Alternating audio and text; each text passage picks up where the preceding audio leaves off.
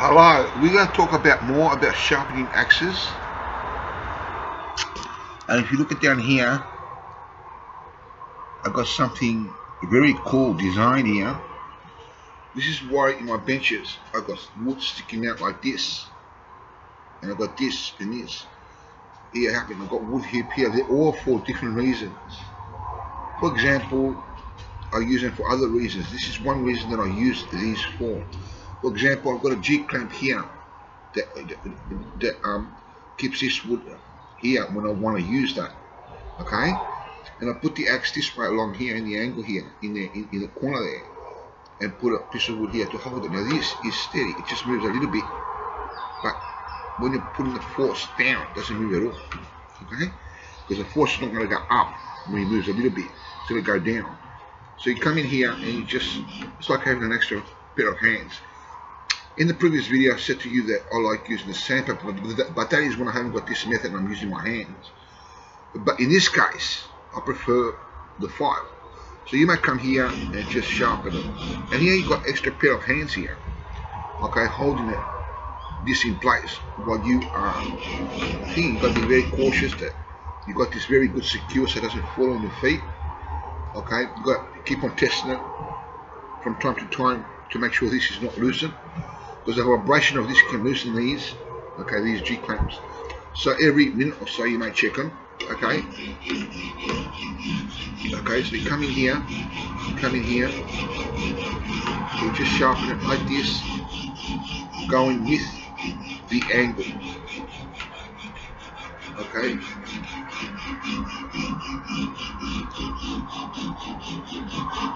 so we, try to use the whole file if we can. Sometimes we might just use like parts of it, just a little bit, but most of the time we should be using the whole file.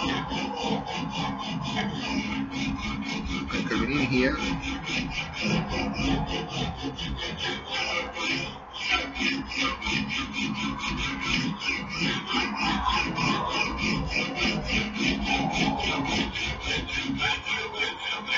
Chips.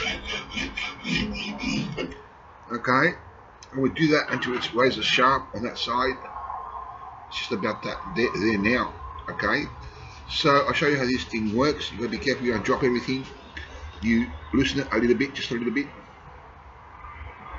just a little bit, and grab onto that. Okay. Okay, then you take that off. This is already stuck on there we do the other side now. Okay we'll bring it in here. Okay. And we attach this here. And this around here. To lock that in place. Or we might use a smaller one on that side. Okay. So then it can grip that is if it fits I'm not sure if it will fit. I haven't tried that with uh, bingo. It does fit. And that locks it in here with the um, thing is and it keeps this here. Although this can come off one way maybe perhaps sometimes it does like this way. See? In in, in this in this position. But it won't come down see now you put pressure this way it won't come down. And, and what you're finding is you're finding downwards here. So it's alright it that way. So when you want to take it off you just take it off this way see? Because you'll come up up you'll come off. But down down it will not come off. Okay? Or in the position that is there now so you just come this way. You come here.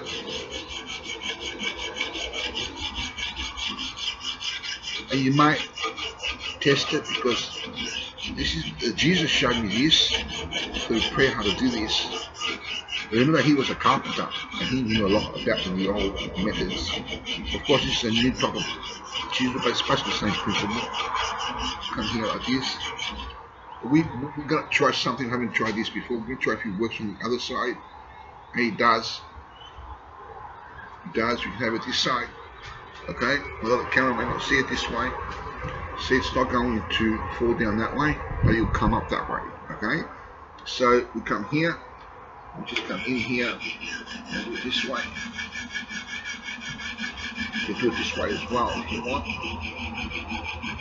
Or you can do this side um, yeah, like the way I showed you before. And I come here, come this way. You just gotta be alert and aware of everything and make sure the axe doesn't go bang, you know. If it does, it's going to drop in there, so it's not, not a big deal, but um, you don't want to damage your, your, axe. Make sure it doesn't fall on your feet. It's not, it's very, almost impossible to fall on your feet, but not impossible, so you've got to be alert and aware of what they're doing. Anything in the woodwork area, there's, you know, there's, there's risk taken. But if you um, secure the ground, there's no risk at all. Like it's never going to fall. I can catch this. I can, you know, I can, you know, look, I put a lot of pressure here. And it's not falling. Okay. So as long as it's secured here and there, and you secure it properly. If you don't secure it proper, properly, it may fall. But here it is secured. We test this now. We tied it because the vibrations keep loosening it. Okay. Okay, this one's pretty tight. Okay and continue sharpening. Now this should be razor sharpening. I was sharpening it a lot before the, the video and just showing you the finished job now with razor sharp. Okay? That should be razor sharp now. And it is. Okay. Okay, thank you for for listening and watching and take care. God be with you all.